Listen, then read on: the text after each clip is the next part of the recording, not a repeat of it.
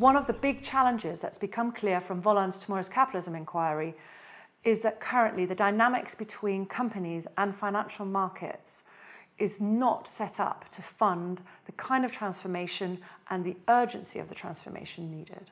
Companies that can see the need and the path to their own transformation are not necessarily able to convey the business case to their investors, and at the same time, investors and financial institutions that want to put their money to good use are not able to see the opportunities and the companies to put their money into. This isn't just a matter of introducing different sets of people to each other, it's a matter of everyone having to step up in different ways. Businesses need to get bolder and articulate long term strategies in a much more robust way to their investors and financial markets investors and banks need to start experimenting with new business models for themselves, as well as how to invest in new business models from companies. Regulators and policymakers need to review the current policies and look at what incentives they are giving and whether tweaks are needed to be made. It's interesting to note for a second that the way that capitalism is structured today has just evolved no one sat back and designed what it should look like and said it needs to work this way. It's evolved, and it's evolved by businesses and investors, and then different types of business and different types of investors thinking they had an opportunity to make money.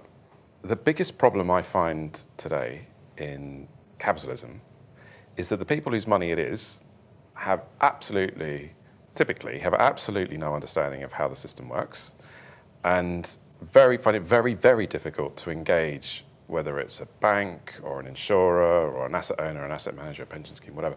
They find it very hard to know where to start. As Aviva, we run money for 33 million people. Hardly ever do they ever ask how their votes have been used on their behalf. My team votes at 5,500 company AGMs on behalf of those 33 million people. Um, over the last 10 years, we've voted half a million resolutions literally half a million resolutions. And over the same duration, we've probably had maybe 200 questions over 10 years from the end investors about how their votes are being used. So we have a, a democratic deficit that's an abyss uh, in the space of the corporate stewardship space, genuinely. So that has to be something that we address and teach people how their money is invested into companies, how it generates a return, and how they in turn put their money back into the system to help it grow.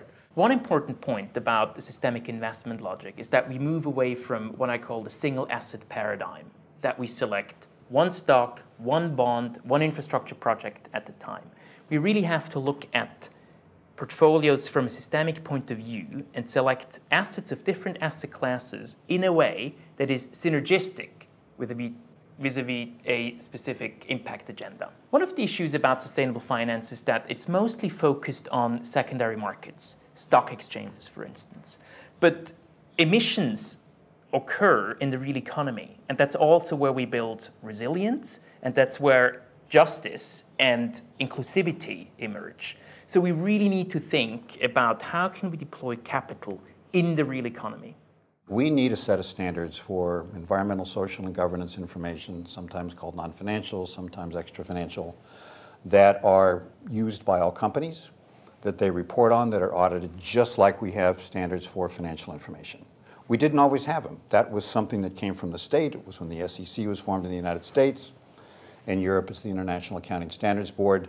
This talk that we're going to get there through market forces and investors are going to demand it is naive the way you get to standards, here's the standard, here's how you measure this thing, you have to report on it, it has to be audited. These standards will be social constructs, they'll be man-made, they'll be imperfect just like accounting is imperfect, but it will be the basis of the shared reality. And we need to get the non-financial accounting standards at the same level as the financial accounting standards so you've got the same quality of information and you've got the same reliability and the same confidence in it so that these can be factored into the investment decisions that are made by the portfolio managers so you can get the shift in capital that we're talking about. Ultimately, society at large, that's individuals like you and me, need to start asking questions of banks and pension funds to make sure that our money is working in a way that's aligned with our values and the world we want to build.